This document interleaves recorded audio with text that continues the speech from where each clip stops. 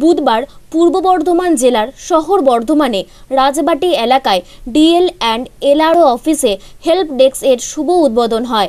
উদ্বোধন করেন জেলা শাসক প্রিয়াঙ্কা সিংলা।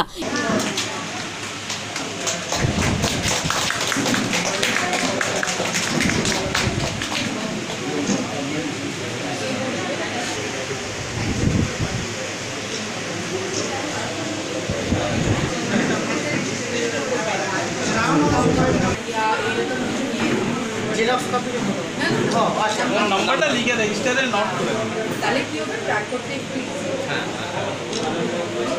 ফর্ম করে রাখছে। পরিষেবা দিতে পরিষেবা ডিফারেন্ট ডিফারেন্ট এদিন উদ্বোধনের পর জেলা শাসক জানান যে কোনো অফিসে একটা হেল্প ডেস্ক অবশ্যই থাকার দরকার হয়।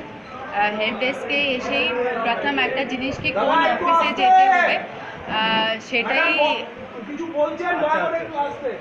সেটাই প্রশ্নটা সলভ হয়ে যায়। এর সঙ্গে সঙ্গে মানে কি কি সার্ভিসেস একটা অফিসে থাক মানে প্রোভাইড করা হয় সেটা বলা হয়। কেভাবে প্রোভাইড করা যেতে পারে সেটা বলা হয়। সেই জন্য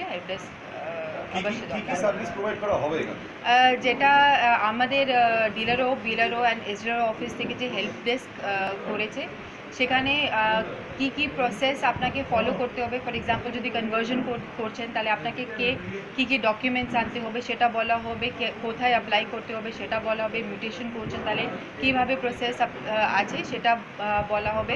যদি কেউ অলরেডি অ্যাপ্লাই করে থাকে, তাহলে ওর কি স্টেটাস আছে সেটাও বলা হবে।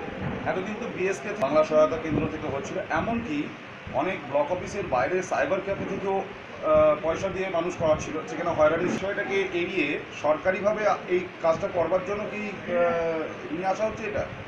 বিএসকে এর মধ্যে তো মিউটেশন এখন নতুন ঢুকেছে।